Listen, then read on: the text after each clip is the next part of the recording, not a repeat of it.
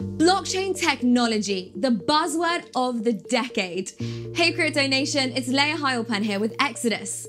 Since you're here, you've already taken the first steps in learning about crypto, which means you've probably been hearing all about this thing called blockchain technology. So, what is a blockchain? Well, if you want to understand crypto, you need to understand the technology that it's based on. Before blockchains, we would rely on intermediaries like PayPal or banks when making transactions so that they can verify everyone has enough money to make a purchase. But there are concerns trusting centralized third parties like these, since humans can be greedy and they can mismanage business. We've already seen how banks have failed us several times before.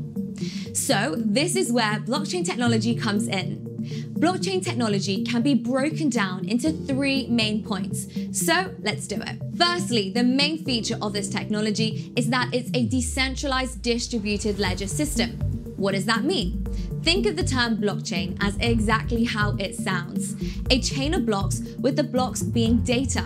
So, what happens is a global network of computers all confirm and agree on the data before it is added to the chain. This data, when we talk about cryptocurrency, refers to confirming transactions.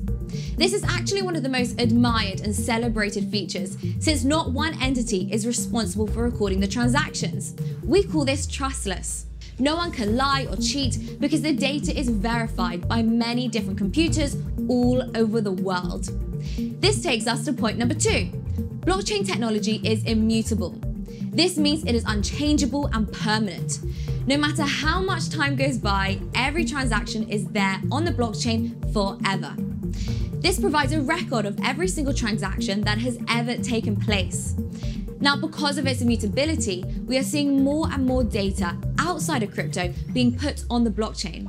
For example, in countries where individual rights and freedoms are often questionable, residents are putting the deeds to their houses on the blockchain because it's hard proof of their ownership and it cannot be changed. And thirdly, the tech is transparent. This means anyone in the world with an internet connection can view the data on the blockchain. This is another important feature because with transparency comes authenticity and the ability to hold people accountable for any dubious behavior. So there you have it. Blockchain technology is a distributed ledger system which is immutable, permanent, and transparent. If you hold your Bitcoin or other crypto in a personal wallet like Exodus and not in an online exchange, your money is not in the custody of one centralized entity.